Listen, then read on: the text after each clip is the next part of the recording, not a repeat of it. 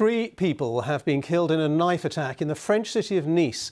It happened near a church, and the mayor of Nice has said that everything suggests it was a terrorist attack. The suspect, who witnesses say tried to behead one of his victims, was shot by police and is now being treated in hospital. President Macron is on his way to the city. Paul Adams has this report.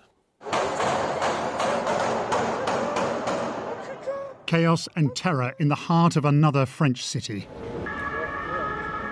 Streets closed, swarming with police and paramedics, the stunned aftermath of France's latest horrific attack. It took place around 9 in the morning in the city's neo Gothic Basilica of Notre Dame. Shouting Allahu Akbar, the attacker stabbed three people, including the caretaker. One of the victims is thought to have been beheaded. Another, a woman, fled to a nearby cafe before dying. We heard many people um, shouting in the streets so we we we we saw by the windows that there were many many many policemen uh, coming, and uh, then we heard gunshots, many gunshots, and more and more um, policemen. The city's mayor called for unity, but said it was clear this was terrorism. Nice Nice, perhaps more than any other place in France, today is paying far too heavy a price by once again being a victim of Islamic fascism. There is no doubt about the meaning of this act, given that the perpetrator did not stop repeating Allah Akbar in front of us while he was receiving medical treatment. In Paris, a minute's silence in the National Assembly as word of events in Nice began to emerge. President Macron is travelling to Nice. With the whole country now entering a new coronavirus lockdown, he has two major crises on his hands. France is still in shock after the murder of middle school teacher Samuel Paty. Most French citizens proudly defending their country's secular values.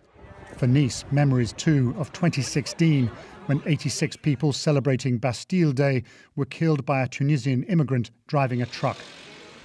But around the Muslim world, there's anger at what some describe as President Macron's anti Islam agenda.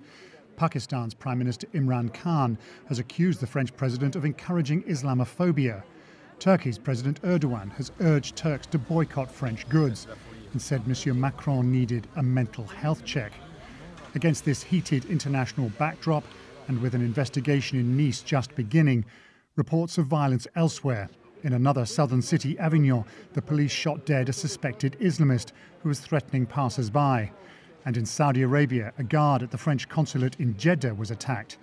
The guard was wounded and the assailant taken into custody. Paul Adams, BBC News. And we can join Hugh Schofield in Paris. Uh, what is the latest you're hearing on these horrific events in Nice, Hugh?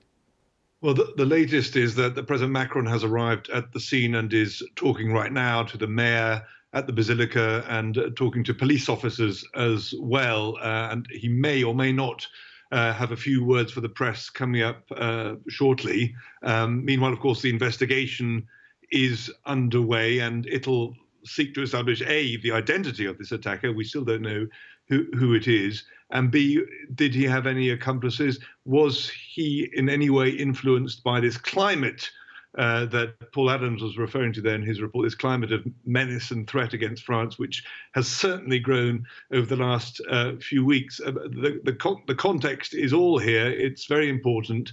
It is a time at which France definitely feels itself in the firing line from extremist groups in the Middle East. Certainly online, their calls for attacks against France have been stepped up in recent weeks in the wake of the trial of related to the Charlie Hebdo massacre and the, republication by Charlie Hebdo of, of the cartoons, and then the killing, of course, two weeks ago of the the teacher Samuel Paty, and uh, and the re- restatement then by President Macron of France's belief and um, the fact that it will stand by its secular values. That's been spun, uh, the French would say, twisted by people in the Middle East, many in the Middle East, into uh, an into an, being interpreted as a kind of anti-Islamic position by the uh, by the by the French authorities, with Macron being accused of you know enacting racist, even sort of 1930s style fascist actions against against Muslims um, in in France. And it's in that context uh, the government here is very aware that this attack has taken place.